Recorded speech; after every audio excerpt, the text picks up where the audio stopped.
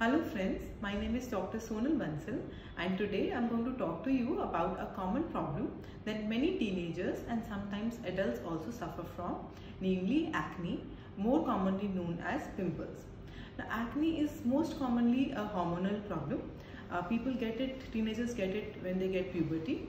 Uh, it tends to increase in females uh, before just before their periods and females who suffer from hormonal imbalances tend to have it more commonly than others. It can also increase with stress. There are other types of acne also like when you oil your hair frequently, especially if you leave it overnight or if you're using some creams which contain steroids or having some medications like steroids or anti-tubercular medicine, they can also cause acne. But the most common cause remains hormonal. Now, it is said that approximately 80% of people would suffer from acne at some point of time in their lives. So as you can understand, the burden is quite huge.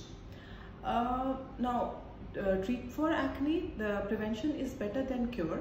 So I'll just elaborate the reasons, the uh, methods which by which you can keep your acne under control or you know you can prevent your acne.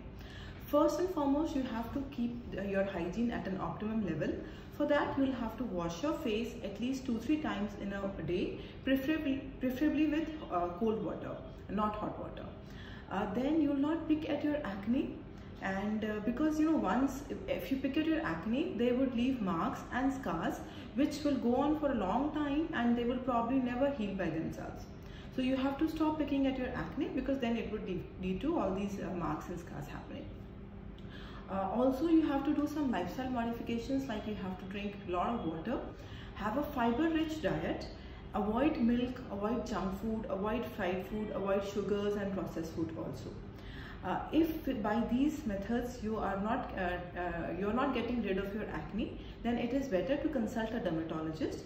He or she will take a detailed history do a proper examination and then make a, a plan for you according to the severity of your acne.